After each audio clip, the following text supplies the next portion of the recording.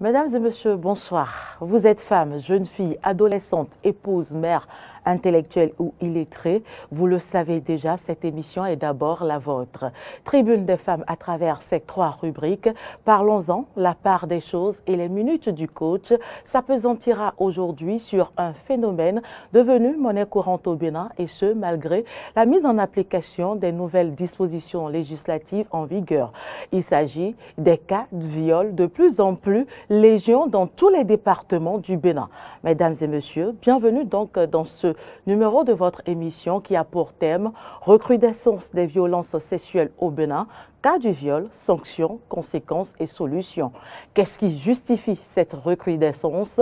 La justice béninoise serait-elle tendre dans la mise en application des nouvelles lois qui protègent mieux qu'aujourd'hui qu'hier les femmes et les filles? Pour répondre à toutes ces interrogations, j'ai sur ce plateau Madame Linda Daraté. Elle est juriste, doctorante en droit public, spécialité protection des populations civiles. Madame Daraté, bonsoir. Merci d'avoir accepté notre invitation. Je vous en prie, merci. En face de Madame Daraté, nous avons le docteur euh, Joseph Deschopon, oui, j'y arrive. Il est socio-anthropologue de la santé, spécialiste des urgences médicales.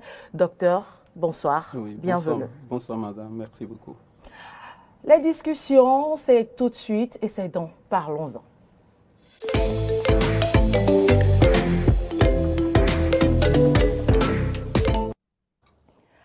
Alors, nous commençons par vous, Madame Daraté. Dites-nous que comprendre par violence euh, euh, sexuelle. Merci beaucoup, Madame Carole. Je vous remercie pour l'invitation et je suis heureuse de partager le plateau avec le docteur Deschopon. Merci à lui. Il faut dire qu'au Bénin, euh, c'est la loi du 9 janvier 2012 portant prévention et répression des violences faites aux femmes qui donne une définition de ce qu'on peut entendre par violence sexuelle à son article 3.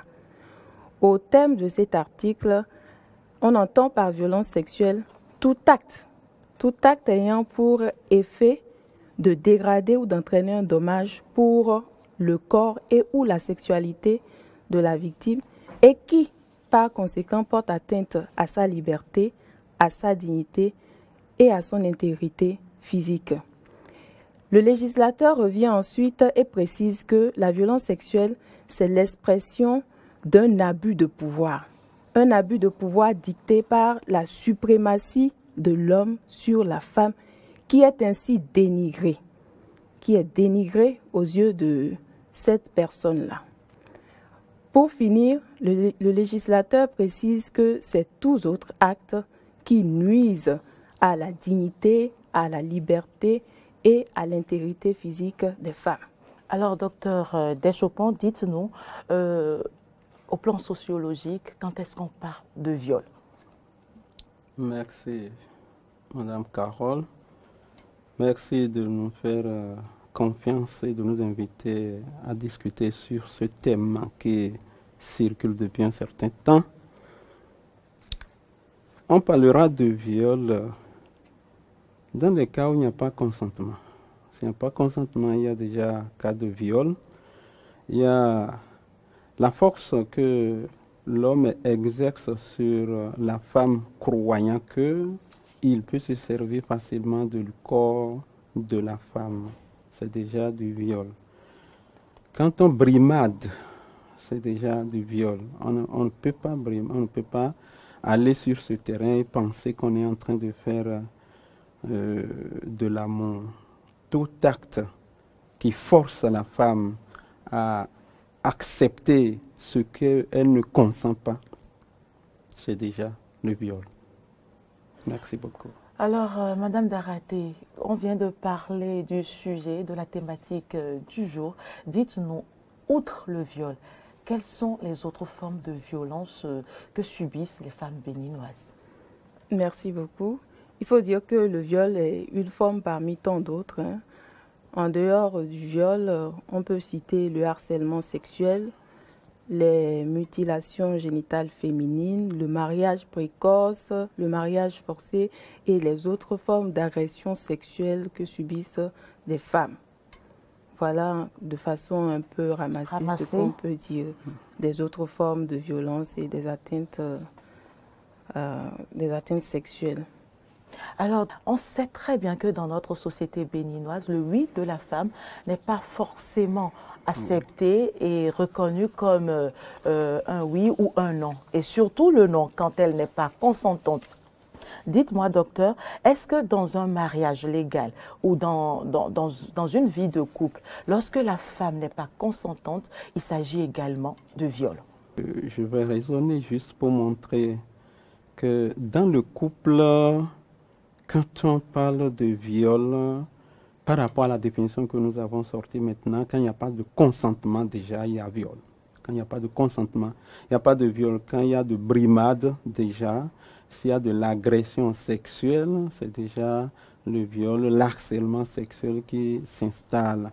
Mais dans le couple, je ne, je ne perçois pas très bien. Peut-être que c'est sur ce terrain que euh, Madame Daraté ne serait pas content ou bien en accord avec moi. Et dans ma langue, en milieu maquis, on dit Ça veut dire que tu es ouvert déjà pour moi. À n'importe quel moment, je veux, j'y rentre. Au niveau de nos parents, il n'y a pas le, le pré-sexuel, le pré-acte. On ne prépare pas. Beaucoup de parents ne savent pas et ce qui gêne est qu'aujourd'hui, tel que nous sommes en train d'évoluer, c'est bon d'avoir une école de sexologie pour apprendre aux jeunes comment faire de l'amour. Et quand nous aurons ces éléments, ces indices, on pourra apprécier que dans les foyers même, entre mari et femme, qu'il y a viol. Sinon, en tant que sociologue, je me dis vraiment, au sens propre du thème, est-ce qu'on peut parler de viol? Dans notre, avec nos réalités, nos avec nos réalités, nos us, nos coutumes. Est-ce que mon épouse peut parler de viol? Est-ce que moi, en tant qu'homme, je peux parler de viol? Parce que nous sommes ensemble. Elle me connaît, je la connais. Si elle est malade, je sais. Si elle vit une situation, je sais. Je dois partager eh, cette difficulté avec elle avant de chercher ce que je veux. Mais si j'arrive à partager, tel que vous venez de dire, Madame la journaliste, votre oui n'est pas toujours oui, c'est un, votre non n'est pas toujours non, c'est toujours un oui avec un petit N euh, devant qu'on n'arrive pas à bien lire. Il faut forcer, il faut agir, il faut toucher. Et à travers ces touches, on vous parle, on va vous taxer de violeurs, on va vous taxer d'harceleurs. Vraiment, je n'apprécie pas trop. Madame Taraté, en tant que juriste, oui. est-ce qu'on parle de viol euh, dans un couple? Merci beaucoup. J'étais très heureuse quand j'ai entendu la définition du viol donnée par euh, le docteur en ce qui concerne la question du consentement. En matière de droit, le législateur n'a pas distingué il donne une définition générale de ce qu'on entend par viol. C'est le code pénal, euh, en son article 553 révisé, qui dit ceci. Tout acte, tout acte de pénétration sexuelle commis sur la personne d'autrui hors sa volonté, donc en dehors de sa volonté, notamment par euh, violence, contrainte, par menace ou surprise, est un viol peu importe le cadre qu'on considère, qu'il s'agisse euh, d'une situation dans la rue ou bien dans un mariage, dans un foyer, c'est la même chose. Lorsque le partenaire n'est pas d'accord, n'a pas donné son consentement, c'est du viol. Voilà ce que le, législateur Je reste avec vous, Madame Daraté. Quelle est la différence entre tentative de viol et viol? Très rapidement. Très rapidement. La tentative de viol, c'est c'est un début de commencement de cette infraction qualifiée viol qui n'a pas atteint son objectif, qui n'a pas été consommé. Donc c'est une infraction qui était en train de se commettre. Il y a eu un début de commencement, mais l'infraction n'est pas allée jusqu'au bout. En droit, et d'après ce que le législateur dit, qu'il s'agisse d'une tentative, qu'il s'agisse d'une infraction totalement consommée, en matière de viol, les deux sont punis de la même façon. Alors, les, deux, les deux sont punis de la même façon. Mais comment, comment prouver la tentative de viol? Ah là, la, preuve, la preuve revient aux, aux agents, aux agents de police. C'est eux qui peuvent, avec l'aide de la victime, des témoins potentiels, réunir les, les preuves. Et quand il n'y a pas de témoins, par exemple, parce que c'est un acte qui ne se commet pas au vu et au su de tout le monde. Par exemple, quand nous prenons la vie de couple, vous venez de dire que c'est bel et bien le viol. Maintenant, comment prouver ce acte? Parce que là, on est en face de la parole de la femme contre euh, celle du monsieur. Oui, malheureusement, c'est l'une des difficultés lorsque il n'y a pas de signe extérieur. Lorsqu'effectivement, comme vous l'avez dit, c'est une tentative, qu'il n'y a pas eu, par exemple, pénétration. Dans ce cas, il est difficile pour la femme, et on, beaucoup, beaucoup s'en plaignent, il est difficile pour la femme de prouver effectivement, en l'absence de toute preuve, qu'elle a subi une agression. Donc, malheureusement, c'est l'une des failles de, de, cette, de, cette, cette, loi. Je reviens à vous, euh, docteur. Dites-nous, qu'est-ce qui explique, qu'est-ce qui justifie la recrudescence de ce phénomène? Qu'est-ce qui est à la base du viol? Oh, vraiment, merci beaucoup. Euh, il n'y a rien, aucune histoire ne reste sans euh, des arrière-pensées, sans l'empirie. Je vous assure que j'ai commencé par réfléchir un peu sur cette histoire-là. Et je me dis, à un moment donné, l'État béninois a commencé par euh, envoyer systématiquement tous ceux qui avaient le bac. Ils subissaient euh, une formation, je crois, d'un d'un mois ou bien de deux mois, et devenir éducateur. Quand on rate l'éducation, déjà, euh, il y a déjà quelque chose qui se pose.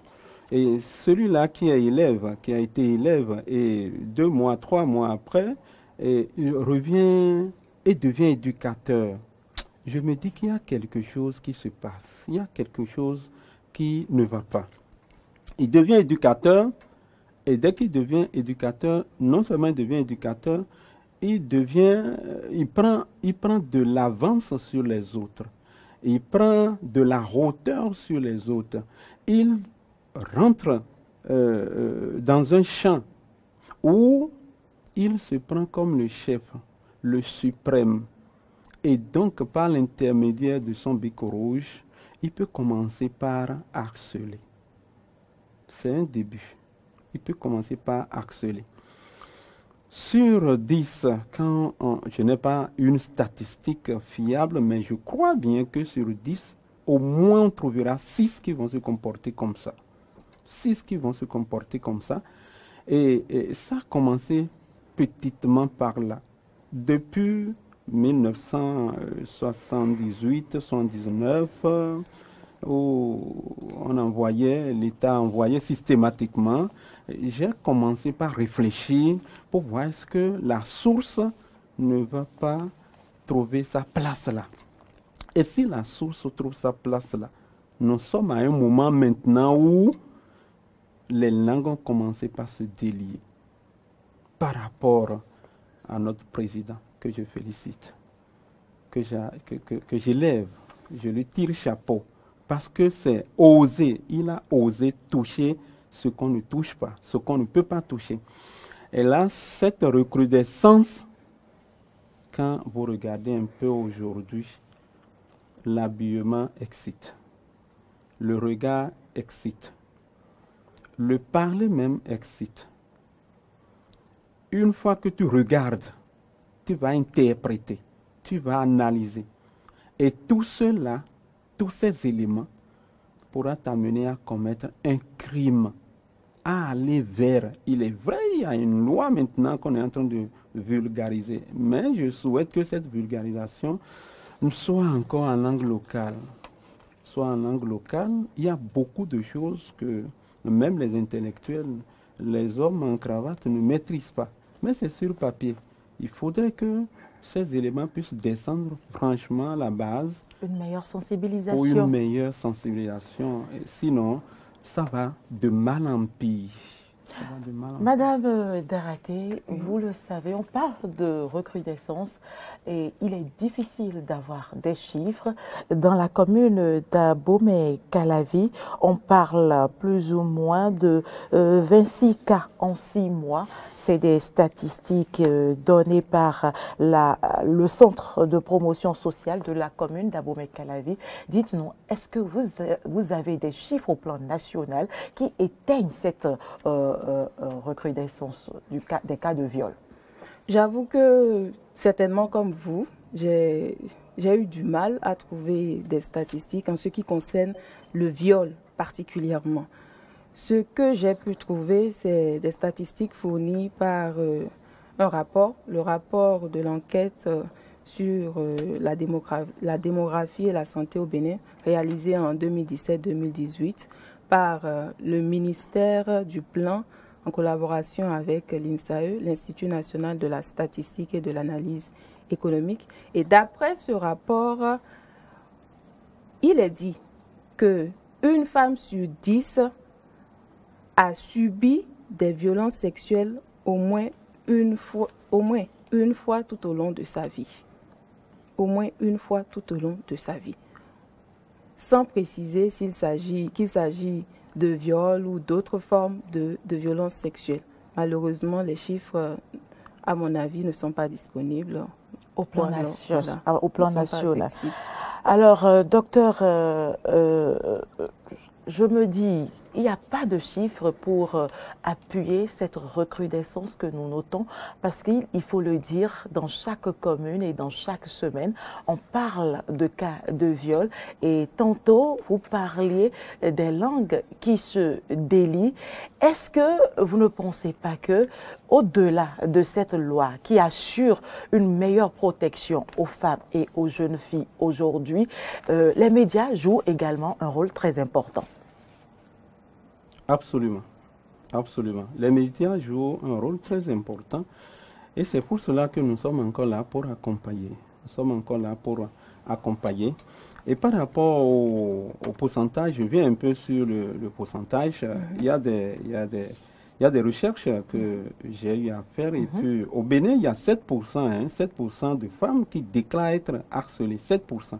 Et donc, sur 10, on peut banalement trouver 7 femmes, qui, qui ont été abusées. Oui, oui, qui ont été abusées. Mais il y a l'hypocrisie qui amène euh, nos sœurs à ne pas faire la déclaration. Le regard de la société. Oui, le regard de la société. Ça fait que nos, nos, nos sœurs euh, n'arrivent pas à déclarer les auteurs. Donc, les acteurs sont toujours cachés. Et ça se passe, ce n'est pas seulement au Bénin. Ce n'est pas seulement au Bénin. Au Pérou, il y a 70% des femmes y a 70% des femmes qui sont victimes d'harcèlement sexuel et ont même peur d'aller dans les milieux publics. Dans les milieux publics. Vous allez en Égypte où la femme est préservée. Je vous dis, le sondage a montré que 99% des filles égyptiennes interrogées ont prouvé, et ce sont les Nations Unies qui ont fait cette euh, recherche en 2013, 99% des femmes sont harcelées. Et donc, c'est quelque chose, c'est un phénomène qui prend de l'ampleur, qui se trouve partout. Et là, les médias, ils vont se positionner en premier plan. Et c'est en cela, je dis que ça ne soit pas seulement en français, que ça ne soit pas seulement aussi au à Cotonou, à Calavi, où ça ne va pas loin. Mais ce que nous sommes en train de faire ici, dans les Bénin. points les plus reculés, pour que l'information circule en langue locale, pour pouvoir accrocher les acteurs. Voilà un peu ce que je, je trouve à dire par rapport à votre préoccupation.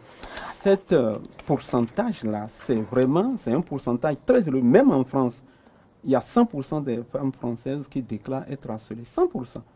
D'accord, les langues se délient, ce n'est plus uniquement au Bénin, si nous venons de, bien suivre euh, le docteur, Madame Daraté. Est-ce que parce que les langues se délient de plus en plus, c'est systématiquement synonyme de poursuite judiciaire il faut, il faut apprécier en tout cas l'avancée qui est en train d'être observée au niveau de, de la démocratisation de la parole et de l'information dans les médias et réseaux sociaux. Il faut apprécier cela. Toutefois, ce n'est pas parce que beaucoup parlent que tout le monde parle. Donc il y en a qui restent dans le silence, il y en a qui, comme on l'a dit tout au début, n'ont pas de preuves qu'elles ont fait l'objet d'une tentative de, viol. Donc préfèrent rester dans le silence et les auteurs sont toujours dans, dans la rue. Tout le monde peut, ils peuvent tomber sur tout le monde. C'est pas parce que donc il y a des dénonciations qu'il y a forcément des poursuites et nous n'avons pas, nous n'avons pas les chiffres pour appuyer, pour, pour déterminer le nombre, si le nombre de poursuites en matière de viol a augmenté ou pas. Toutefois, le fait que la loi prévoit que tout le monde peut dénoncer, peut dénoncer un viol ou des violences sexuelles dont il serait au courant, à mon avis, n'aura que pour effet d'augmenter le nombre de poursuites. Et la mise en place d'un institut, d'un organe de promotion et de protection des femmes, je pense notamment à l'Institut national de la femme, permettra certainement d'augmenter le nombre des poursuites au niveau de nos juridictions. Mesdames et messieurs, chers amis téléspectateurs et amis auditeurs de la 102.3, nous allons à présent marquer une courte pause et questionner notre société. Est-ce que nos us et coutumes répondent aux exigences euh, de... Euh, est-ce que nos lois, pardon, nos lois en vigueur répondent aux exigences de nos us et coutumes? Nous allons commencer par faire la part des choses à travers cet élément.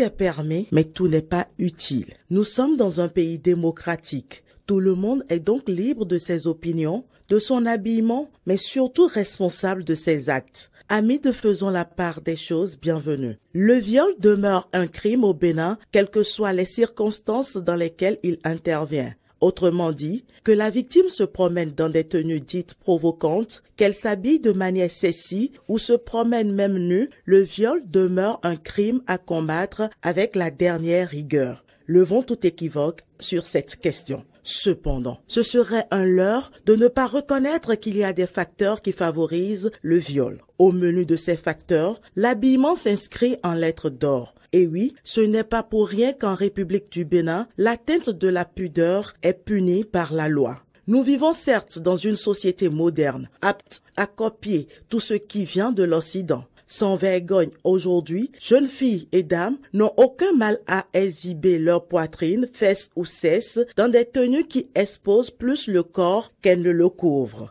libre à elles. L'objectif de cette rubrique n'est nullement de porter des jugements mais ce sera une contre-vérité de ne pas reconnaître que nous vivons dans une société qui prône des valeurs de décence, de bonnes mœurs et élève le corps de la femme au rang de sacré. Et donc, s'habiller de cette manière, c'est désacraliser ce corps. Cela donne l'impression aux hommes que vous êtes une fille facile, sans dignité, de mœurs légères. Mieux, quand un criminel, un psychopathe sexuel se trouve face à ce type de femme, il estime encore plus normal de commettre son forfait. Le bourreau dira qu'il n'a pas pu se contrôler devant ce type d'habillement, cette forme généreuse, gracieusement exposée. Ce n'est donc pas pour rien que les cas de viol se constatent plus dans les milieux urbains car il reste un minimum de décence dans nos villages et amants. Ce n'est pas parce qu'on est libre de s'habiller comme l'on veut qu'on doit se dénuder ou se promener seul dans certaines tenues de nuit. C'est comme si vous exposez de la viande sans surveillance, sachant qu'il y a des chiens et chats non dressés dans les parages. Malgré toute la punition de leur maître, ces animaux viendront manger votre viande avant que leur maître ne les punisse à nouveau. Le comportement responsable voudrait donc que vous protégiez votre viande en connaissance de cause. Un homme qui vous voit vous habiller bien, vous respecte même sans vous connaître et aura peur de vous approcher.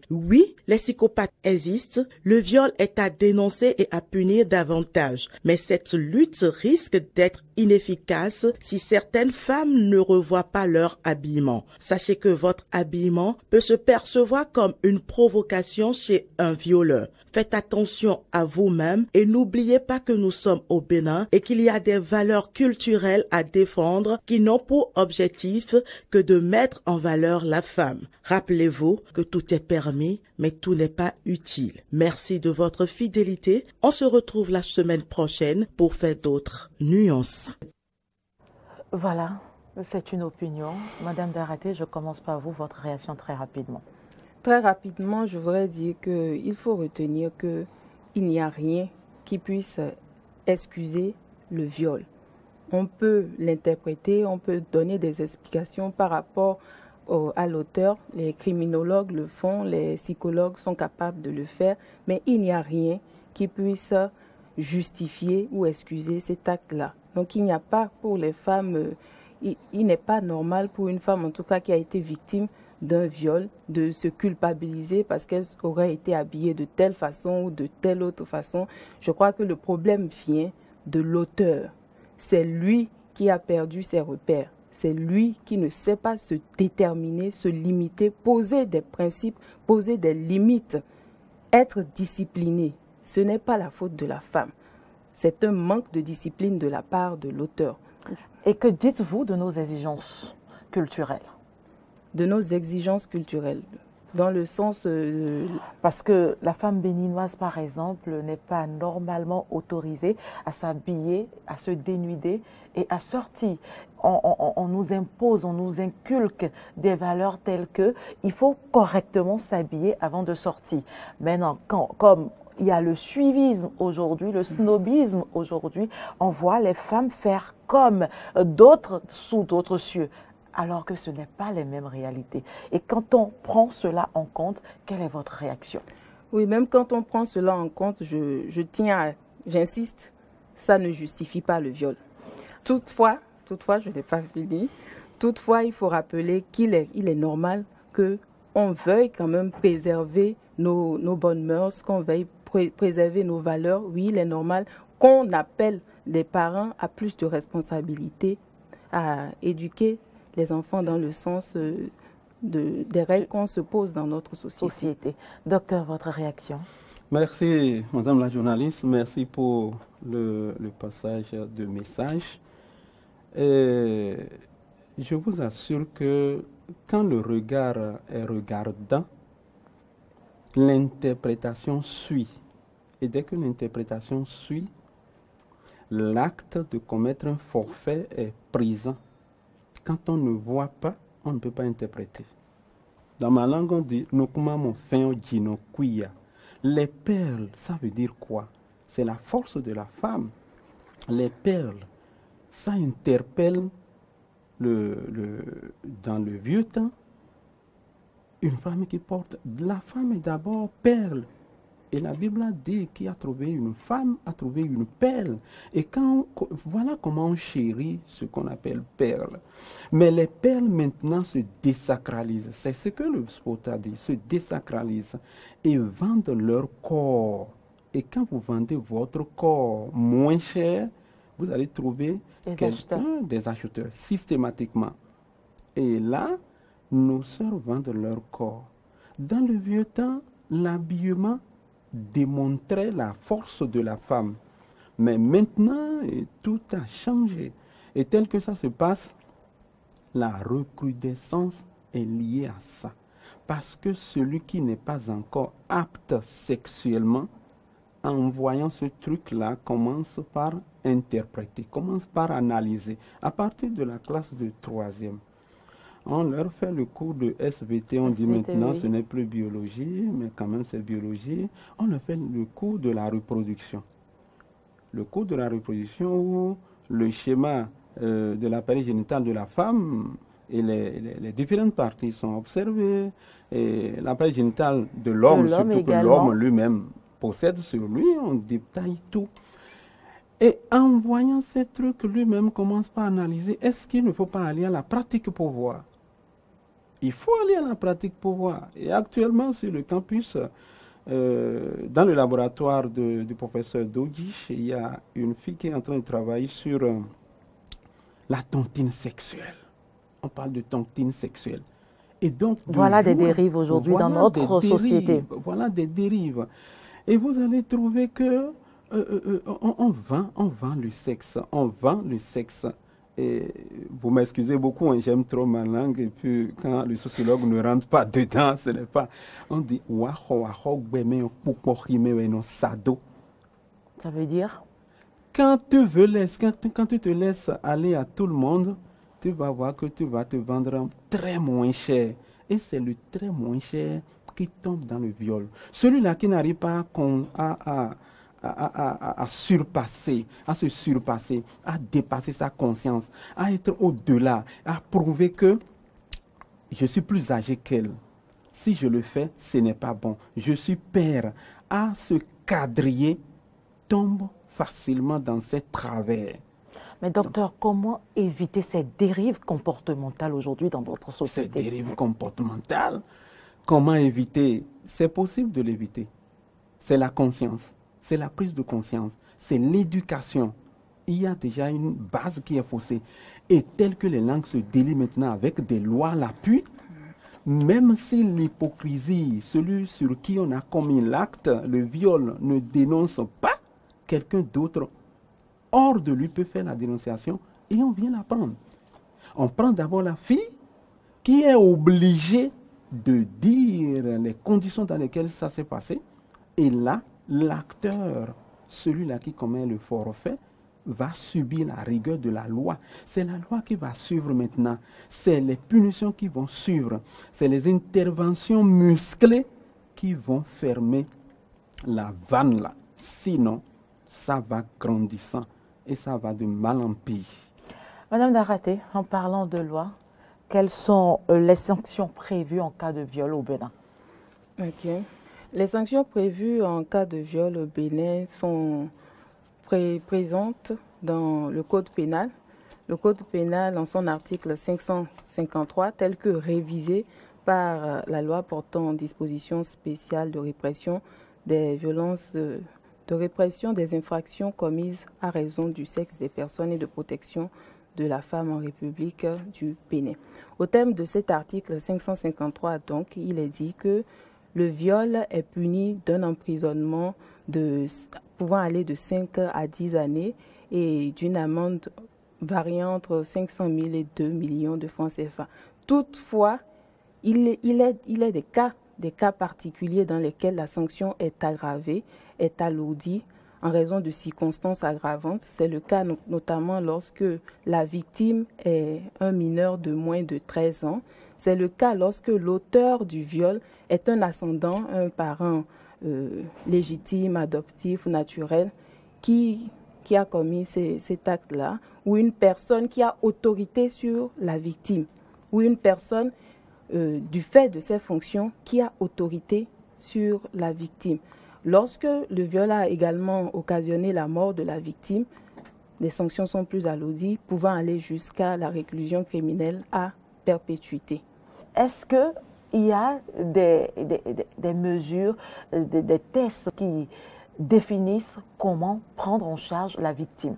Oui, la question de la prise en charge a été abordée notamment dans la loi portant prévention et répression des violences faites aux femmes qui préconisait déjà la mise en place de structures de prise en charge et par décret en 2012, le président de la République a annoncé l'installation de centres de prise en charge des victimes de violences basées sur le genre. Donc ces centres existent, ces centres existent et sont appelés centres intégrés de prise en charge des victimes des violences basées sur le genre. Il y en a trois il y en a trois dans tout le Bénin, malheureusement. Ici, à Cotonou, euh, à Parakou et à Abomey. Voilà. Ce sont ces centres-là qui reçoivent les victimes. Docteur, vous êtes sociologue, trois centres de prise en charge, alors que le viol est commis dans tous les départements du Bénin. Il se pose bien évidemment un problème. Même dans les hameaux, même dans les, les coins bien reculés. Il se pose donc un problème. Il se pose un véritable problème. Il se pose un véritable problème et il faut dupliquer. Il faut, dans chaque commune, on doit l'avoir. Pourquoi pas, pourquoi pas dans chaque arrondissement? Il y a trois au Bénin. Cotonou, qui est centre-ville, Paraco, centre-ville, à Bomé, centre-ville. Ce n'est pas seulement dans les villes. Le violeur qui est dans les campagnes, dans les milieux reculés, il descend en ville, il sera pris immédiatement. Et donc, c'est le problème d'éducation qui se pose. C'est le problème d'accompagnement sexuel qui se pose. C'est le problème d'éducation sexuelle qui se pose. Et on en a besoin. On en a besoin. Nous n'avons pas de sexologues au Bénin. Nous n'en avons pas. Ce sont les, ce sont les, psychologues, quelques psychologues et puis quelques sociologues qui prétendent aller, surtout que eux autres, ils sont dans ce, dans ce domaine où ils parlent régulièrement, ils parlent régulièrement de, de, de, ces problèmes, de ces euh, difficultés de société, prétendent être sexologues. Normalement, on doit l'avoir et commencer dès bas âge à montrer à l'enfant que le sexe en réalité ne doit pas être utilisé de telle façon, de telle façon, de telle façon. Je crois, nous allons toujours continuer. Les médias, le travail que vous êtes en train de faire, c'est déjà une très bonne chose c'est déjà, très bon. On va euh, vous dupliquer l'information, euh, vous informer plusieurs fois encore. C'est déjà le truc qui est passé, le spot qui est, qui est, passé. Vous avez enregistré. Nous, nous sommes en train de parler par rapport. D'autres vont parler par rapport. Et c'est de bouche à oreille que finalement, un jour, on finira par mettre un, peu les points sur les i. Sinon, nous sommes à un point maintenant où nous n'avons pas encore atteint le sommet. On doit atteindre le sommet pour chuter. Et atteindre le sommet, nous sommes en train d'avoir des lois qui nous cadrent, qui nous maintiennent dans notre course, dans notre pulsion, dans notre désir sexuel. Où ce n'est pas sur tout le monde qu'il faut déverser sa pulsion sexuelle. Il faut faire beaucoup attention. Et les parents ont beaucoup, ont, beaucoup à faire nos parents. Justement, j'allais en parler. Beaucoup à faire. Est-ce qu'on n'observe pas une démission des parents? Très bien. Est-ce que c'est une démission? Ce n'est pas une démission, mais on peut l'apprécier comme démission. Le parent qui est... Le béninois aime le chez soi. C'est chez moi. Il est au service à Porto Novo, mais il vit à Calavi ou bien à Lada.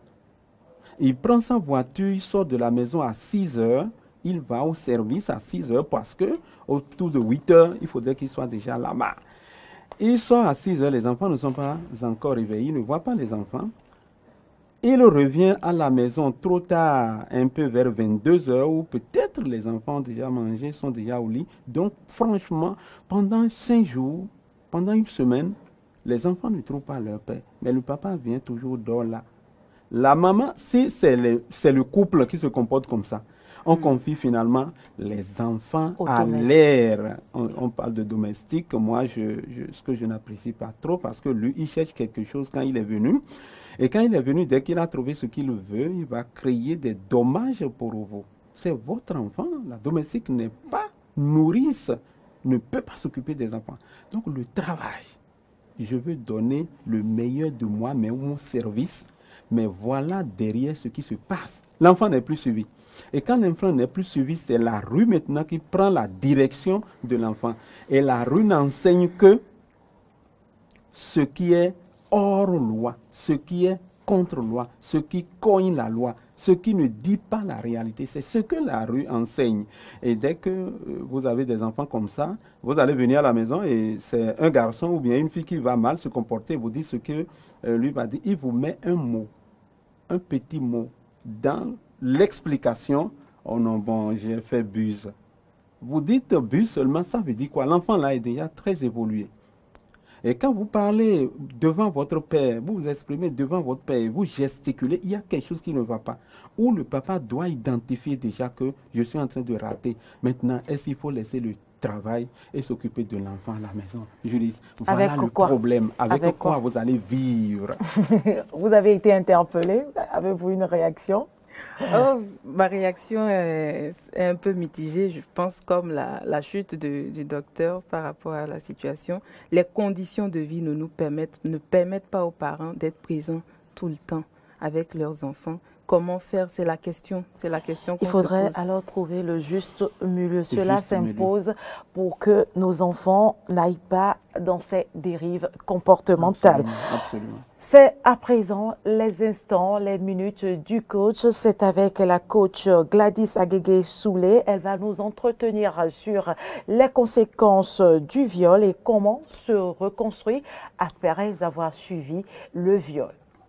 Ce que je voudrais partager aujourd'hui, c'est l'espoir pour toutes les victimes, pour toutes ces personnes, pour toutes ces filles, pour toutes ces femmes qui ont été victimes de viol.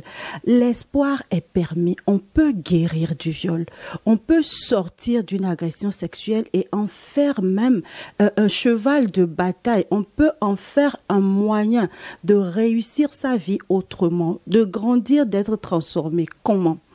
Déjà, euh, euh, nous pouvons dire que le viol, c'est mauvais sous toutes ses formes. Quelle que soit la personne qui le fait, que ce soit un inceste ou que ce soit une personne qui soit hors de votre cadre familial, le viol est une mauvaise chose et nous condamnons le viol. Maintenant, ce qui nous intéresse, c'est le fait que vous avez été violé, c'est le fait qu'une personne a été violée, comment accompagner cette personne dans sa guérison, comment faire en sorte que ce tact, cette chose horrible qui lui est arrivée, ne puisse pas l'empêcher de continuer à vivre et de vivre une belle vie, d'être heureux, d'être épanoui, d'être accompli? Voilà l'angle sous lequel nous allons parler du viol aujourd'hui. La première chose, il est important que vous puissiez accompagner la personne qui a été victime d'un viol à mettre les mots sur ce qu'elle a vécu. C'est un moyen donc de pouvoir aider la personne à, sortir du déni, à comprendre qu'elle a été vraiment victime et que ce n'est pas la fin du monde. Ça permet également d'aider la personne à déculpabiliser. C'est la deuxième étape. Il faut absolument déculpabiliser. Vous n'êtes pas responsable de l'acte qui a été commis sur vous. Ce n'est pas vous qui avez fait de cette personne un agresseur sexuel, un violeur. Quelle que soit la façon dont ça s'est passé, quel que soit le rôle que cette personne joue dans votre vie, quelle que soit la façon dont vous étiez habillé, quel que soit ce que vous êtes, la façon dont vous êtes, vous n'êtes pas responsable de ce qui s'est passé. Donc la deuxième chose, c'est de déculpabiliser. C'est d'arrêter de croire que vous êtes responsable de ce qui vous est arrivé. Ce n'est pas le cas. Seul le violeur est un agresseur sexuel. Seule la personne qui vous a violé est coupable. Vous, vous n'êtes qu'une victime. La troisième chose qui est une étape essentielle, c'est le pardon. Vous devez être capable de vous pardonner. Vous devez être capable de pardonner à la personne qui vous a violé et vous devez être capable de pardonner même à Dieu. Parce que vous avez vécu quelque chose d'effroyable et vous pouvez vous dire, Seigneur, où étais-tu quand ça m'est arrivé? L'étape du pardon est une étape essentielle. Pourquoi? Parce que ça vous libère ça enlève toute la négativité qu'il y a dans cet acte. Tant que vous n'aurez pas pardonné, vous revivrez le viol à chaque fois comme si cela vous arrivait de nouveau. Et ça induira en vous les mêmes sentiments que vous aviez quand cet acte s'est passé. Donc, il est important d'aller chercher au plus profond de vous, de vous faire accompagner sur le faux, sur le plan spirituel, sur le plan psychologique, de vous faire accompagner par une personne qui sera capable de vous aider à pardonner. C'est vrai que c'est impardonnable, mais vous devez pardonner. Alors, si vous avez pu pardonner ou si vous êtes sur le chemin du pardon, il y a une étape qui est très importante, c'est le self-love, l'amour de soi vous devez réapprendre à vous aimer. Vous n'êtes pas sale parce que vous avez été, violé. Vous n'êtes pas sale parce que quelqu'un a cru qu'il pouvait assouvir ses pulsions grâce à vous. Vous êtes et vous demeurez une belle personne à l'intérieur comme à l'extérieur. Vous devez réapprendre à vous aimer, réapprendre à vous accepter malgré cet acte ignoble qui a été commis sur vous. Vous êtes une belle personne, une personne aimable. Et la première personne qui doit vous aimer, c'est vous. C'est vous qui devez réapprendre à vous aimer avec cette histoire qui vous est arrivée. Il y a une situation particulière de viol que je voudrais quand même souligner. C'est le viol en couple. C'est le viol que peut subir une femme mariée de la part de son mari. Ça vous étonne peut-être, mais c'est vrai. Il y a des femmes qui subissent le viol au quotidien de la part de leur mari. Parce que quand c'est non, c'est non. Parfois, la femme n'a pas envie qu'on la touche. Parfois, il y a des situations qui se sont produites dans le couple et qui ont amené cette personne à développer peut-être une, euh, euh, je vais dire, une inimitié vis-à-vis de son mari. Et alors, elle n'a pas envie d'avoir des relations sexuelles avec son mari. Malheureusement, ce dernier peut l'obliger à avoir des relations sexuelles avec lui. Dans des cas particuliers comme celui-là, vous avez d'abord besoin de déculpabiliser. Ce n'est pas de votre faute. La deuxième chose à faire, c'est de recourir à une personne qui pourrait vous accompagner pour pouvoir parler avec votre mari. Vous pourrez recourir peut-être à une personne de votre famille qui est capable d'aller vers votre mari, avec qui vous pouvez parler d'un sujet aussi intime que celui-là, un parrain de mariage ou une personne responsable, sage que vous connaissez, qui est capable de pouvoir entretenir le couple. Et comme ça, vous allez pouvoir expliquer votre problème et il y aura une discussion et un moyen de vous amener à guérir pour pouvoir continuer à avoir des relations normales avec votre mari. Il est important dans un cas comme celui-là de se faire suivre par une personne, une personne qui est capable de pouvoir vous accompagner, soit un psychologue, soit une personne qui est spécialisée dans l'accompagnement de couple ou dans l'accompagnement de couple dans la sexualité. Et à partir de ce moment-là, il y aura des étapes les étapes à travers lesquelles cette personne va vous accompagner pour vous permettre de retrouver une belle harmonie dans votre couple. Il n'est pas interdit à une femme mariée de dire non à une relation sexuelle. Tant qu'elle le ressent ainsi, elle a le droit de dire non. Ce qui est important, c'est de mettre le doigt sur le problème profond qui a entraîné cette situation, de le régler pour une belle harmonie du couple. Je vais inviter également les hommes à être à l'écoute de leur femme, à comprendre quand la femme dit non, qu'il y a un problème plus profond, à l'écouter et à l'aider à guérir parce que quand la femme va bien, la famille va bien, le foyer va bien. enfin, enfin, la dernière étape, c'est une étape qui est également essentiel, mais que beaucoup de personnes n'atteignent pas. C'est vous servir de cette histoire pour écrire l'histoire de votre vie. Vous savez, beaucoup de personnes ont vécu des choses horribles. Je connais des personnes qui ont perdu un enfant à cause du cancer et qui ont choisi de créer une fondation pour lutter contre le cancer. Alors, si vous avez été violé, si vous avez été une victime, vous pouvez vous servir de cette histoire pour aider d'autres personnes, soit à ne pas subir le viol, soit à guérir. Mais d'abord, vous devez vous-même guérir. Vous devez vous-même redevenir une personne à part entière, une personne capable d'accomplir ses rêves, d'aller au-delà de ce qui lui est arrivé pour faire ce à l'instant, la coach euh, Gladys Adam euh, Soulet qui prodiguait de nombreux conseils, docteur. Je n'ai pas envie de demander votre réaction. Mais que dire sur les conséquences et comment guérir du viol? Oui, les conséquences euh, sont nombreuses. Hein. Les conséquences sont nombreuses. Ce n'est pas seulement celui qui est violé, le traumatisme qu'on a créé, le traumatisme psychique, là, psychologique qu'on a créé. Au-delà de ça, il y a aussi eh, des maladies qui peuvent être euh, assis là, des maladies, des infections, pourquoi pas à VIH. Oui, oui, à VIH et puis des grossesses pour survenir.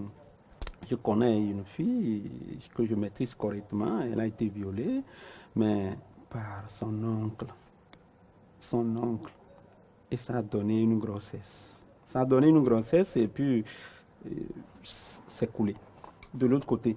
Franchement, c'est un problème, un problème très sérieux. Et puis, je suis vraiment madame qui a présenté Madame Gladys qui a présenté une très bonne euh, solution par rapport à ça. Il faut le suivre. Et il faut la parole. Il faut délier la langue. Tant que vous ne déliez pas la langue, il y a toujours problème. Tant que vous ne déliez pas la langue, il y a toujours problème. Je ne dois rien garder. Je ne dois rien cacher. Je dois pouvoir sortir ce que je veux. Je dois pouvoir dire, la femme qui est à la maison, quand elle me dit non, qu'elle soit obligée, je ne peux pas rentrer en toi et savoir ce que tu veux.